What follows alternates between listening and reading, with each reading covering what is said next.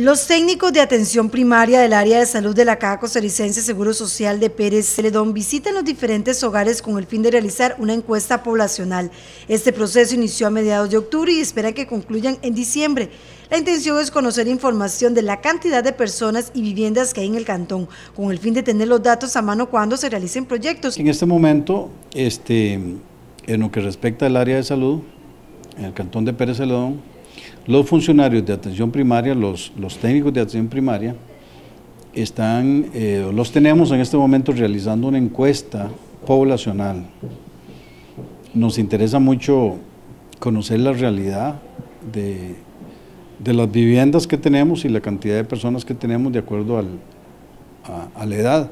Entonces, eh, queremos informar, esto porque eh, hay algunos, se han dado algunos casos de, personas que, nos reportan que anda un desconocido por ahí pidiendo datos y que incluso están llamados a la policía. Entonces queremos decirle que nuestros funcionarios que están debidamente identificados, sí los tenemos en este momento en esa, en esa tarea de levantar una especie de censo poblacional eh, y de viviendas en el cantón de tal manera que si los, que si los llegan a sus viviendas este, debidamente identificados, pues que nos hagan el favor de recibirlos y atenderlos, porque es un dato muy importante para nosotros el que estamos recopilando. ¿Qué incluye esta consulta? Bueno, la, consulta básicamente es, eh, dentro de los instrumentos que tenemos ahí, eh, es si la vivienda está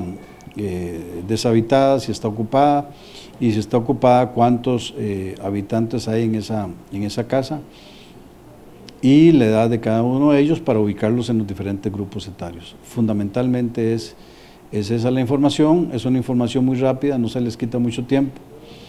Y, este, y sí nos, nos gusta y gracias por esta oportunidad porque así aclaramos esto y la población pues que sienta esa, esa seguridad de que son nuestros funcionarios, los de la caja, que andan haciendo ese trabajo. Esta información la consideran muy importante para la toma de decisiones. Es algo propio, de, es algo propio del área de salud. Eh, existía ese vacío en cuanto a, esa información y queríamos eh, realmente obtener esos datos, pero de una manera, de una manera muy, muy real. Y la única forma de hacerlo era a través de una encuesta personal eh, con nuestros funcionarios y visitando las viviendas.